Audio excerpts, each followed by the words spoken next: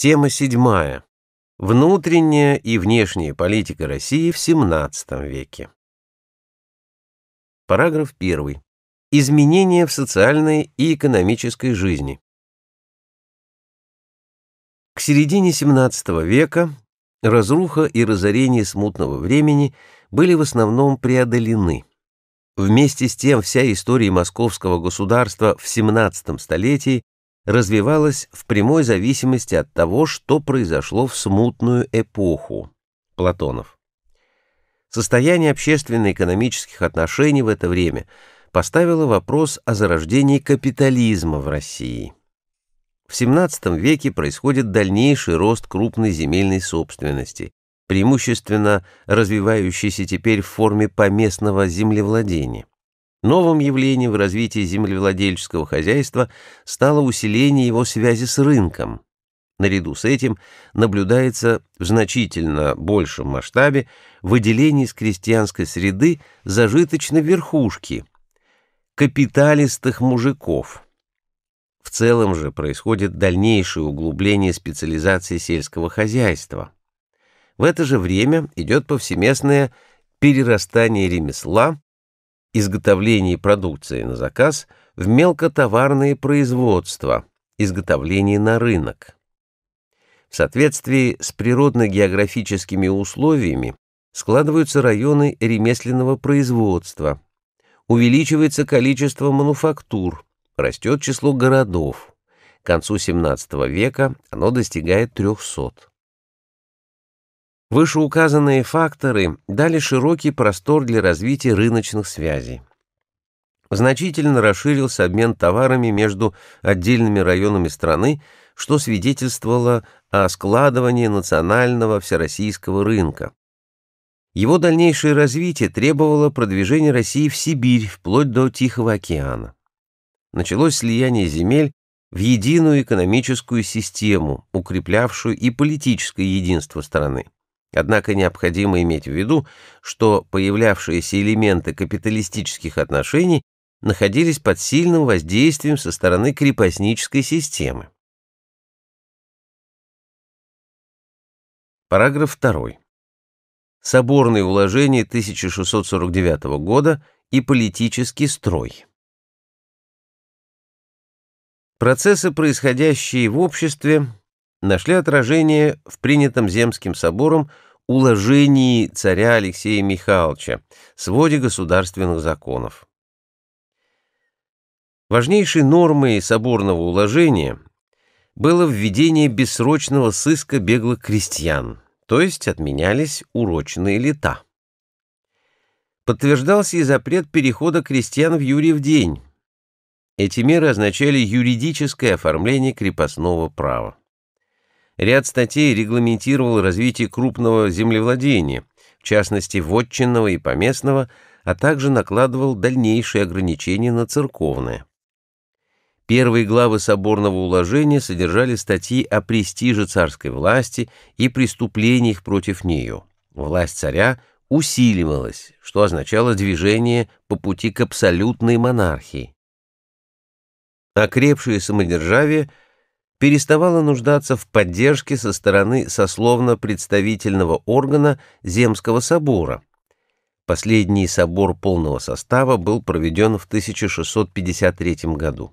Однако Алексей Михайлович 1645-1676 годы еще был вынужден считаться с Боярской думой, пополнившейся дворянами и представителями приказной бюрократии исполнительная власть принадлежала приказам, переживавшим в XVII веке свой расцвет. В общей сложности в это время функционировало до 80 приказов, важнейшими среди них были посольский, поместный, тайных дел, стрелецкий. Финансовыми делами ведали приказы Большого прихода, Большой казны, счетной. Имелась система дворцовых и патриарших приказов, а также территориальных, ведавших некоторыми районами страны. Значительно выросла численность бюрократии до более четырех с половиной тысяч человек. Изменения произошли и в организации местного управления. Власть в уездах сосредоточилась в руках назначаемых из центра воевод. Однако в Поморье сохранялось земское управление. Предпринимаются попытки реорганизации армии, создаются полки нового строя, куда набирались даточные люди. Сто крестьянских дворов давали на пожизненную службу одного солдата, проходившие военное обучение под началом офицеров-иностранцев. Параграф 3. Государство и церковь. Раскол. В событиях смутного времени церковь играла видную роль. Еще более ее авторитет повысился в 20-е годы XVII века, когда патриарх Филарет фактически соединил в своих руках прерогативы светской и церковной власти. Несмотря на то, что соборное уложение 1649 года ограничивала рост церковного землевладения и урезала иммунитетные права монастырей, экономическое могущество церкви оставалось по-прежнему велико. Вместе с тем, внутри церкви существовали разногласия по вопросам исправления церковных служб, понятия нравственности духовников и противодействия проникновению светских начал в духовную жизнь населения. Не было согласия в том, по каким образцам надлежало производить исправление. Одни считали, что за основу надо положить древние русские рукописные книги Аввакум. Другие — греческие оригиналы Никон. Несмотря на непримиримость оппонентов, споры вначале не выходили за рамки богословских рассуждений узкого круга лиц. Так продолжалось до тех пор, пока Никон не стал в 1652 году патриархом. Он сразу же начал проводить церковную реформу. Наиболее существенные изменения коснулись церковных обрядов. Никон заменил обычай креститься двумя пальцами троеперстием, в богослужебные книги вписывали слова, по сути, равнозначные, но по форме другие, произошла замена и других ритуалов. Из Москвы были высланы ревнители, например, протопоп Авакум в Сибирь. Одновременно Никон, некогда бывший другом царя Алексея Михайловича и ставший патриархом при его содействии, стал претендовать на государственную власть. Демонстративно подчеркивая превосходство духовной власти над светской, он становился соправителем царя, а во время отсутствия Алексея Михайловича занимал его место. В приговорах Боярской думы появилась такая формулировка «Светлейший патриарх указал, и бояре приговорили». Но Никон переоценил свои силы и возможности, поскольку приоритет светской власти был уже определяющим в политике страны. В результате его отправили в ссылку простым монахам в Ферапонтов монастырь. Вместе с тем церковный собор объявил проклятие всем противникам реформы. После этого раскол в России разгорелся с гораздо большей силой. Только религиозное в начале движения приобретает социальную окраску. Однако силы споривших между собой реформаторов и старообрядцев были неравны. Первых поддерживали церковь и государство, вторые защищались только словами. Общим их лозунгом был возврат к старине, хотя каждая из этих групп понимала его по-своему. Трагическая судьба выпала на долю старообрядцев уже в XVII веке. Подвижнической смертью погиб неистовый Авакум. После многолетнего сидения в земляной яме он был в 1682 году сожжен. Преследования вынудили старообрядцев уйти в глухие места на север, в Заволжье, где их не коснулась цивилизация ни в XVIII, ни в XIX веке. Что касается официальной церкви, то она пошла на компромисс со светской властью. Собор 1667 года подтвердил независимость духовной власти от светской. Параграф 4. Социальные выступления. Восстание под руководством Степана Разина. Середина, вторая половина XVII века были наполнены социальными потрясениями. Первым в их ряду явилось восстание в Москве в 1648 году, известное под названием «Соляной бунт».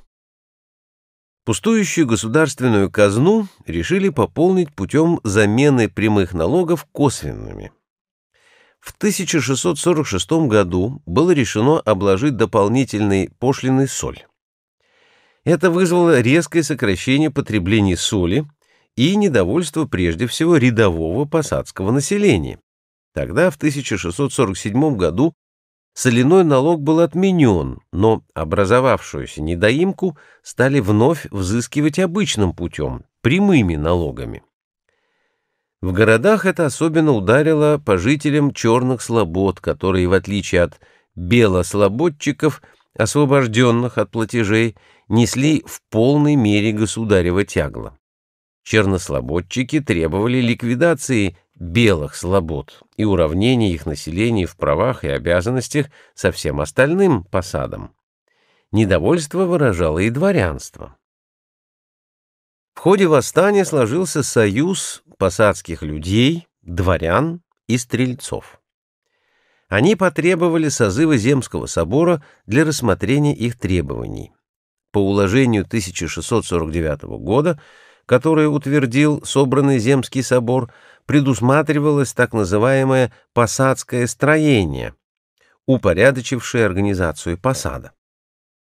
Эхо московских событий прокатилось по другим городам российского государства. Движущими силами выступали на севере посадские люди, а на юге мелкий служилый люд. Посадское движение продолжилось в 1650 году в Новгороде и Пскове. Следующее выступление произошло в 1662 году в Москве. Оно известно как «Медный бунт». Восстание было связано с русско-польской войной, начавшейся в 1654 году, которая вызывала большие финансовые трудности. В поисках выхода московское правительство взамен серебряной монеты стало чеканить равнозначную медную, которая со временем обесценилась. Налоги, между тем, собирались по-прежнему серебром, в то время как жалование выплачивалось медью. Вследствие этого посадское население оказалось неплатежеспособным. В июле 1662 года посадские люди, стрельцы и солдаты двинулись в резиденцию царя, село Коломенское, и потребовали выдачи бояр и купцов, причастных к неудачной денежной реформе. Вступив с ними в переговоры, царь Алексей Михайлович одновременно вызвал верные ему стрелецкие полки, которые жестоко расправились с восставшими. Однако чеканка медных монет была прекращена. В южных районах России земли по Дону были заселены казаками. Особенности положения казаков, оборона пограничных земель от крымцев и нагайцев, обусловливали их отношения с центром, который обеспечивал их хлебным жалованием, а также не требовал выдачи беглых крестьян. С Дона выдачи нет. Нередко казакам для устройства своего имущественного положения приходилось собирать походы, которые зачастую сводились к грабежу казенных и купеческих караванов на Волге. Однако в 60-х годах правительство стало противодействовать казакам, и тогда начались волнения. Во главе восставших стоял донской казак Степан Разин. Первые его походы за зипунами через Каспийское море на Волгу и Яик в 1667 году, а затем в пределы Персии 1668-1669 годы ничем не отличались от прежних. Новый же поход Разина, начавшийся в 1670 году, превратился в казацко-крестьянское восстание. Наряду с казаками и русскими крестьянами в нем участвовали народы Поволжья, мордва, татары, чуваши и другие. Весной отряды восставших овладели Царицыным, а в начале лета — Астраханью. Затем было принято решение продвигаться на север, вверх по Волге. Восстание охватило значительную территорию Поволжья. Но после неудачной осады Симбирска в сентябре 1670 года Повстанцы были разбиты правительственными войсками. Разин ушел на Дон, где в феврале 1671 года был схвачен зажиточными казаками, выдан правительству и казнен. После его казни восстание пошло на убыль. Причинами поражения были стихийность и слабая организованность движения, отсутствие четких целей борьбы. Параграф 5. Россия в конце XVII века. После смерти царя Алексея Михайловича на престол был возведен 14-летний Федор Алексеевич 1676-1682 годы, его сын от первой жены Марии Милославской, происходившей из старинного боярского рода. Кроме Федора, у них был еще сын Иван и шесть дочерей, старшей из которых была Софья. От второго брака с Натальей Нарышкиной царь имел сына Петра и дочь Наталью. В 1670-е и 1680-е годы между придворными группировками Милославских и Нарышкиных шла беспрерывная борьба за власть. Во главе первых стояла энергичная и властолюбивая царевна Софья, вторых возглавляла мать Петра, царица Наталья Кирилловна. После смерти бездетного Федора встал вопрос о его преемнике. По старшинству наследовать престол должен был Иван, но он был мало способен к правлению. Тогда выбор пал на Петра. Он не устраивал Милославских, и они, воспользовавшись недовольством стрельцов, подняли их против Нарышкиных. Стрельцы потребовали провозглашения царями и Ивана, и Петра, а по их молодости управление страной было отдано в руки царевны Софьи. Она же первым делом подавила стрелецкий мятеж, казнив руководителя стрелецкого войска Хованского. Фактически правителем при Софье стал князь Василий Голицын, способный дипломат, но неудачливый полководец. Отношения между Софьей и взрослеющим Петром обострялись. В августе 1689 года по ложному слуху о якобы готовящемся стрелецком перевороте в пользу Софьи перепуганный Петр скрылся за стенами Троицы Сергиевого монастыря, но затем, поддержанный своими потешными полками и даже некоторыми полками стрельцов, Петр добился заключения оставшейся без военной силы Софьи в Новодевичий монастырь. Осенью 1689 года к власти в лице Петра приходят Нарышкины. Параграф 6. Основные тенденции развития русской культуры в XVI-XVII веках. На духовную культуру XVI-XVII веков, как и прежде, большое значение оказывала церковь. Однако духовная культура, особенно народных масс, не была свободной от языческо-христианских представлений. Это проявлялось в традиционных обрядах и празднествах. В фольклоре XVI века, наряду с бытованием жанров прежних эпох, былин, сказок, пословиц и так далее – расцветает жанр исторической песни. Большое распространение имели и исторические предания. Песни и предания обычно посвящались выдающимся событиям того времени или историческим личностям. Большая часть грандиозных рукописных историко-литературных трудов связана с деятельностью митрополита Макария. Им и его помощниками к 1554 году были созданы Великие Чети Минеи, двенадцатитомное собрание всех книг, чтимых на Руси, житий, поучений, памятников церковного права, повестей и сказаний. В середине XVI века летописцами был подготовлен новый летописный свод, получивший название Никоновской летописи, так как один из ее списков принадлежал в XVII веке патриарху Никону. Летописи XVI века представлены также и отдельными сочинениями. Например, летописец начала царства описывает первые годы правления Ивана Грозного. В 1560-х годах составляется «История о Казанском царстве», которое доказывало историческую справедливость его завоевания. К литературе бытового жанра относятся такие оригинальные произведения, как «Домострой», повесть о Савве Грудицыне, повесть о горе злочастии. Новым жанром можно считать сатирические повести, такие как «Повесть о бражнике» и другие. В XVI веке появился жанр публицистики, который нес в себе назидательные, поучительные, идеологические мотивы. Москва, Третий Рим, Филофея, челобитные Ивану IV, Ивана Пересветова, произведение Ермолая Еразма, переписка Ивана IV с Курбским, сказание о Гришке Отрепьеве, сочинение Авраамия Палицына.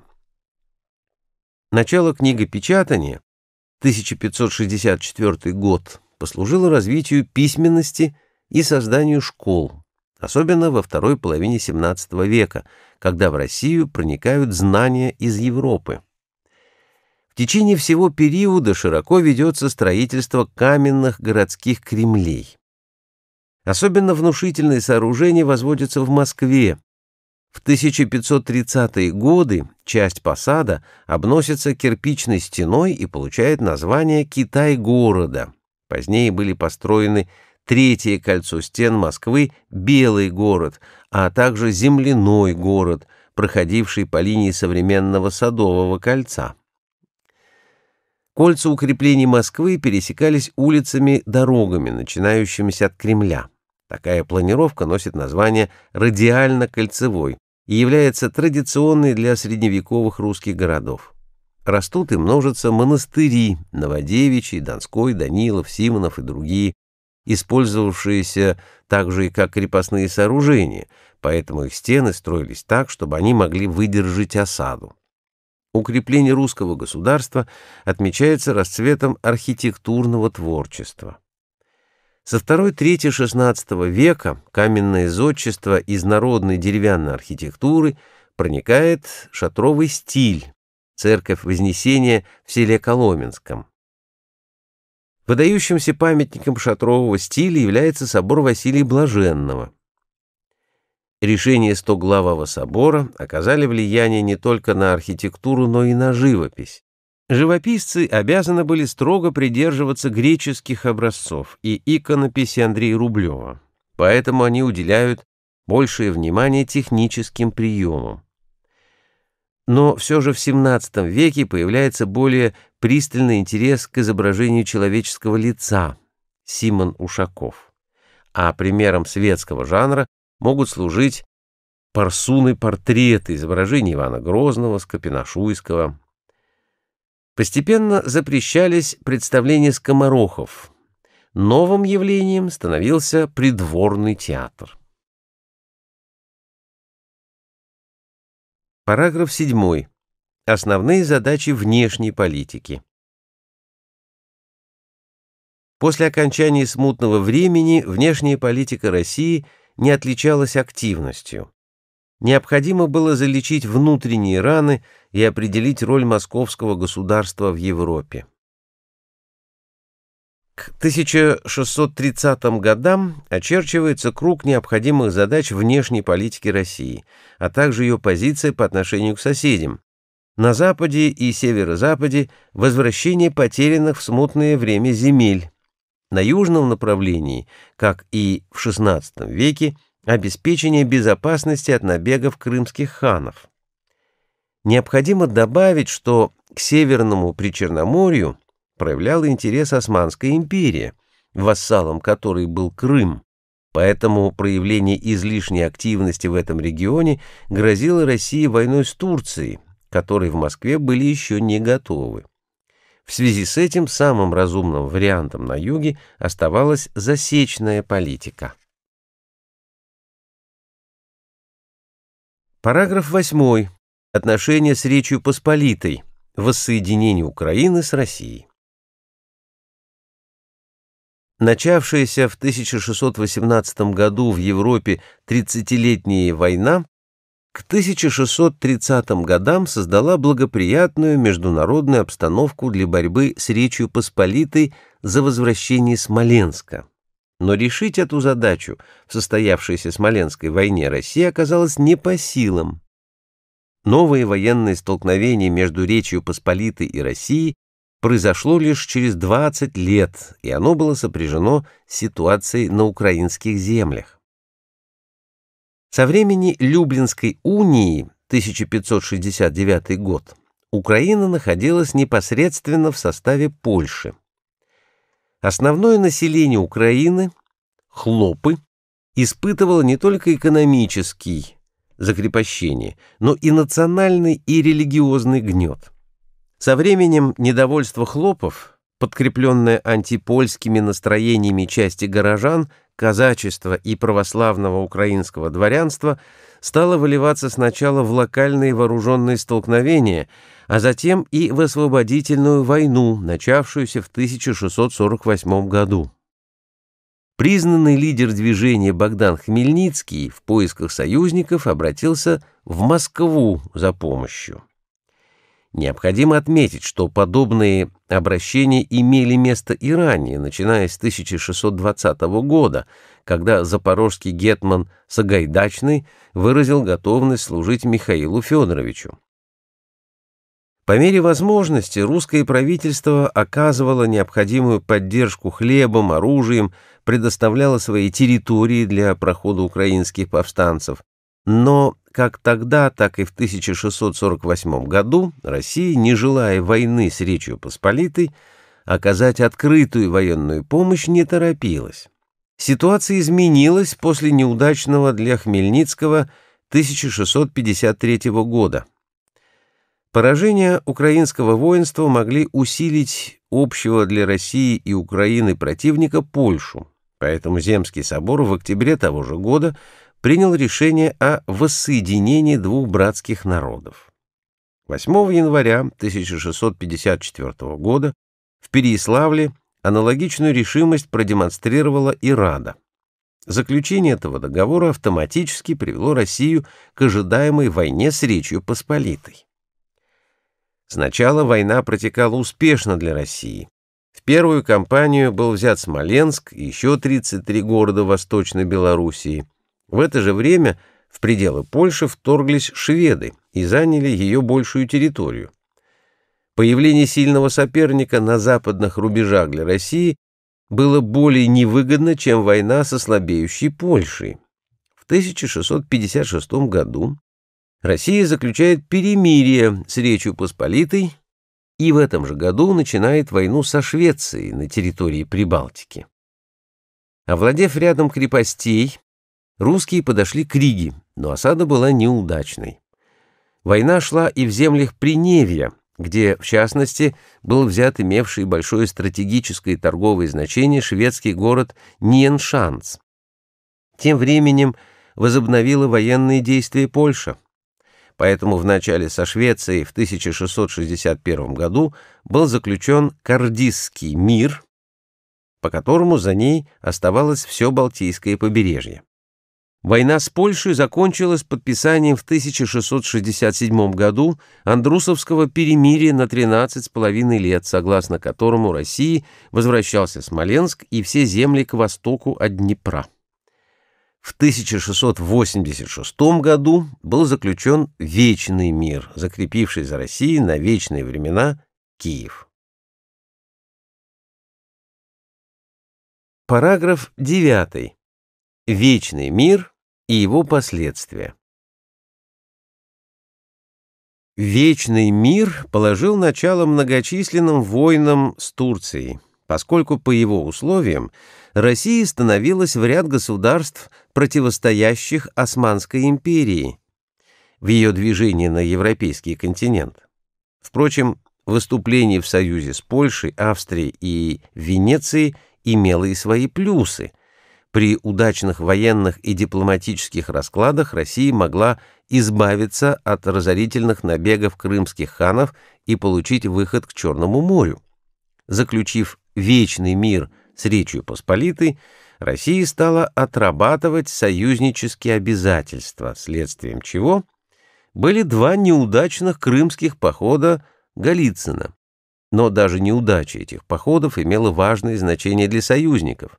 Турецкая армия, скованная движением русских войск в районе Крыма, снизила активность действий на Балканах. Верность условиям вечного мира впоследствии продемонстрировал и молодой Петр I во время азовских походов в 1695 и 1696 годах. Однако после взятия Азова, казалось, Европа утратила интерес к турецкой проблеме, что и переориентировало русскую внешнюю политику с юга на северо-запад. Выход к Черному морю откладывался более чем на 70 лет.